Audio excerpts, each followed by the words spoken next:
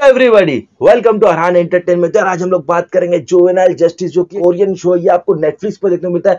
इसमें total 10 episode है, जिसके हर एक एपिसोड ऑलमोस्ट एक घंटे के और ये आपको इंग्लिश और हिंदी दोनों ही लैंग्वेज में देखने को मिल जाता है। शो में हमें नज़र आती है जुवेनाइल कोर्ट की जज शिम उनशुक जो कि बिलीव करती है कि जितने भी नाबालिग के जो क्राइम्स करते हैं, उनको भी वही सजा मिलना चाहिए जो एडल्ट को मिलती है। ऐसे में इस शो में आपको अलग अलग केसेस देखने को मिलते हैं, और उन केसेस का डिसीज़न शिम युंग शुक कैसे लेती है, क्या वो केसेस को वो खुद इन्वेस्टिगेट करती है, ये सब कुछ जानने के लिए तो आपको ये शो देखना पड़ेगा। तो मैं शो की नेगेटिविटी सबसे पहले बता दूँ तो वो है इसकी एपिसोड्स की लेंथ हालाँकि कोरियन जितनी भी वेब सीरीज़ होती है, उनके एपिसोड्स ऑलमोस्ट एक एक घंटे के होते हैं, लेकिन यहाँ पे अगर इस पर्टिकुलर शो को देखो तो उनके जो एपिसोड्स वो हमको ज़रूरत से ज़्यादा ऐसा लगता है कि खींचे गए मतलब वो एपिसोड फोर्टी फाइव मिनट या फिफ्टी मिनट्स में भी खत्म हो सकते थे, लेकिन फिर भी उनको एक घंटे से ज़्यादा की लेंथ दी है, जो कि मुझे थोड़ी सी अजीब लग रही थी।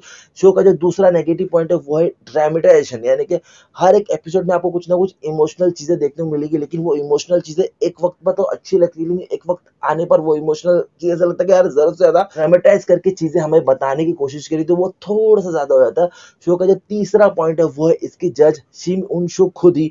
देखो यार, दुनिया में जितने भी जजेस है, आप लोग ऐसा मान के चल सकते हो कि जज लोग खुद से इन्वेस्टिगेट नहीं करते, इतना घुस के हर एक केस को सॉल्व नहीं करते, लेकिन यहाँ की जो जज है, वो सारी सारी चीज़ें खुद से करती है। तो एंटरटेनमेंट पर्पज से तो वो चीज़ें हमें अच्छी भी लगती है, लेकिन अगर ग्राउंड लेवल और रियलिटी के बेस पर देखा जाए तो वो सारी चीज़ें हमें फेक नज़र आती है। पॉजिटिविटी की बात करें तो इसको इंटेंस और काफ़ी ब्रिलियंटली लिखा गया स्टार्ट से लेके एंड तक ऑडियंस अपना इंटरेस्ट खोती नहीं क्योंकि जो जो केसेस बताए वो केसेस इतने खतरनाक है कि एक वक्त में तो भाई आपकी रूह काँप जाए और आप लोग खुद सोचने पर मजबूर हो जाए कि शायद छोटे बच्चे ऐसे भी क्राइम कर सकते हैं। और जब वो क्राइम्स हम लोग देखते तो हमको ऐसा लगता है कि यार इनको भी वही सजा मिलना चाहिए जो एडल्ट लोग को मिलती है। और वही चीज़ ये कहीं ना कहीं ये शो कहना भी चाहता है कि जुविनल जो लॉ है वो लॉ में चेंजेस आना चाहिए। आज ऐसा वक्त आ गया जहाँ पर नाबालिग बच्चे वो लोग इस तरह के क्राइम करते हैं कि आदमी की सोच भी वहाँ तक जा नहीं सकती और उन क्राइम्स की सजा उनको इसीलिए नहीं मिलती क्योंकि वो लोग नाबालिग है। तो मैं कैरेक्टर्स की बात करूँ तो यहाँ पर ज़्यादा कैरेक्टर्स तो है नहीं लेकिन हर एक कैरेक्टर को बहुत अच्छी तरह से लिखा स्पेशली सीम योन शोक जो उसको जिस तरह से बताया और जो जो चीज़ें उसके इर्द गिर्द थी मुझे बहुत अच्छी लगी। ऐसे जज वाकई में रियल लाइफ में होना चाहिए। उसके अलावा चाहते है जो कि दूसरा जज है।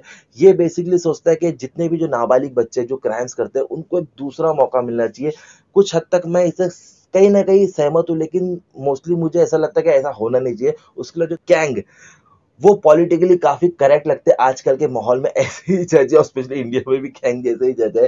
कि सिनेमेटोग्राफी अच्छी है बीजीएम अच्छा है डायरेक्शन मुझे बहुत अच्छा लगा। और एक्टर्स के परफॉर्मेंस की बात करूँ तो हर एक एक्टर ने अपने हिस्से लोग में बहुत अच्छी तरह से निभाया चाहे वो टीनेजर्स हो या एडल्ट हो। मज़ा आता देखने के लिए उनका परफॉर्मेंस मेन चीज़ जो मैं आपको बताना भूल गया कि भाई शो में जो इमोशनल टच डाला है जैसे कि मैंने नेगेटिव पॉइंट बताया कुछ जगह पे थोड़ा ओवर दी टॉप चले जाते हैं, लेकिन मैक्सिमम जगह पे वो जो इमोशनल चीज़ है, वो आपके दिल को छू जाएगी।